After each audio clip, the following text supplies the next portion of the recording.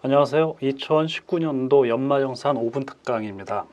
이번 시간에는 인적공제에 대해서 알아보겠습니다.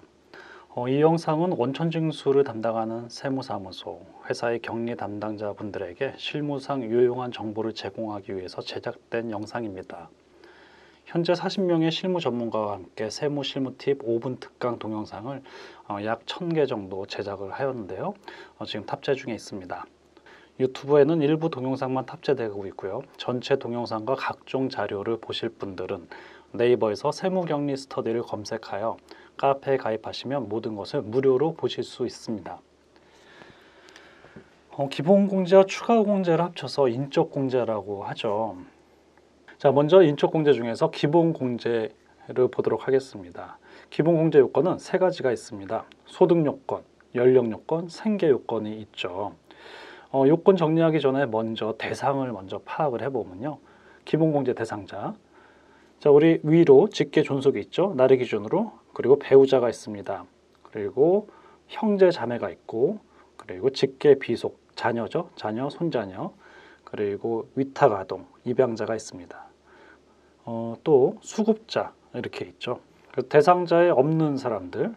어, 일단은 나를 기준으로 음, 우리 직계 비속의 배우자는 없습니다. 즉 며느리 사이는 어, 인적공제 대상이 되질 않습니다. 하지만 직계 비속과 며느리가 둘 다 동시에 장애인인 경우에는 어, 예외적으로 직계 비속의 배우자도 인적공제 대상이 됩니다. 소득 요건을 보도록 하겠는데요. 소득 요건이 100만 원 이하입니다. 소득 요건은 세 가지를 합친 건데요. 종합소득금액 플러스 퇴직소득금액, 양도소득금액을 합쳐서 100만 원 이하여야지만 됩니다. 여기서 몇 가지 포인트. 종합소득금액이므로 분리과세되는 소득은 종합소득이 아니므로 분리과세되는 소득이 아무리 많다고 하더라도 종합소득금액은 제로가 되는 것이죠. 또 특이한 점은 양도소득금액 역시 100만 원 이하이지만 인적공제 대상이 되는 거죠. 어, 예를 들어서 우리 아버지가 10년 전에 은퇴해서 10년 동안 소득이 하나도 없었다고 가정을 해, 보면 어, 그런데 올해 뭐 시골에 있는 조그만 땅을 양도해서 양도세를 납부하셨다고 합니다. 그렇다면 올해는 음, 양도소득 금액이 100만 원이 당연히 넘음으로 인적공제를 받으면 안 됩니다. 정리해보면 종합소득금액, 퇴직소득금액, 양도소득금액을 합친 금액이 100만 원 이하여지만 됩니다. 어, 그리고 또 어, 특이한 점은 근로소득만 있는 경우에는 총 급여액이 500만 원 이하인 경우 인적공제 대상이 됩니다. 자, 두 번째는 연령 요건을 보도록 하겠습니다. 직계 존속 60세 이상, 배우자는 연령 요건 없습니다. 그리고 직계 비속 입양자 20세 이하이고요. 위탁아동인 경우에는 18세 미만입니다. 형제 자매는 20세 이하 또는 60세 이상이고요.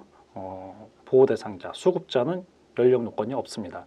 자, 연령 요건 간단하게 계산하는 방법을 알려드리겠습니다. 앞으로 계속 어, 이렇게 계산하시면 될 텐데요.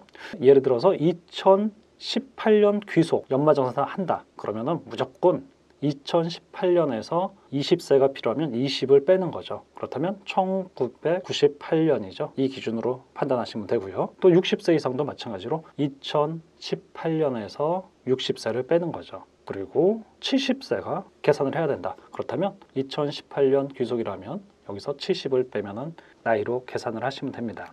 자, 세 번째로 생계 요건인데요. 생계 요건이 없는 경우는 배우자와 직계 비속은 생계 요건이 없습니다. 따로 떨어져 살아도 무조건 공제 대상이 됩니다. 직계 존속은 생계 요건이 있습니다. 하지만 거주 형편상 별거하는 경우에는 따로 떨어져 살아도 생계를 같이 한다고 봐주는 거죠. 하지만 너무 멀리 떨어져 있으면 또 생계를 같이 안 하는 걸로 봅니다. 예를 들어서 외국에 거주하신다? 그렇다면은 생계를 같이 하지 않는 걸로 봐서 인적공제 대상에 해당이 되지 않습니다. 자, 형제 자매는 꼭 생계를 같이 해야 됩니다. 부득이하게 생계를 같이 못하는 경우에는 취약증명서, 요양증명서 등으로 입증을 해야지만 생계를 같이 한다고 봐주는 것이죠. 다음으로 인적공제 중에서 추가공제 요건을 알아보도록 하겠습니다. 어, 먼저 전제 조건이 있습니다. 기본 공제 대상자인 경우에 하나입니다. 소득 요건, 연령 요건, 생계 요건이 충족이 돼서 1인당 150만 원씩 기본 공제를 받은 경우에 한해서 추가 공제를 해줍니다. 어, 첫 번째로 70세 이상인 경우 경로 우대 추가 공제가 있죠. 1인당 연 100만 원. 그리고 장애인인 경우 1인당 연 200만 원 추가 공제, 부녀자 공제 연 50만 원 공제인데요. 종합소득 금액이 3천만 원 이하인 경우에 해당이 됩니다. 배우자가 있는 여성이거나 또는 배우자가 없는 여성 근로자로서 기본 공제 대상 부양 가족이 있는 세대주라면 부녀자 공제가 가능합니다. 거주자 본인에 해당이 되는 얘기죠. 한부모 공제, 배우자가 없는 자로서 기본 공제 대상자, 대상자인 직계 비속, 입양자가 있는 경우에는 연 100만 원의 추가 공제가 됩니다. 특이한 것은 부녀자 공제와 중복 적용이 안 되죠. 부녀자 공제와 한부모 공제가 중복이 되는 경우 둘 중에 큰 한부모 공제 100만 원을 받는 게 훨씬 유리하죠.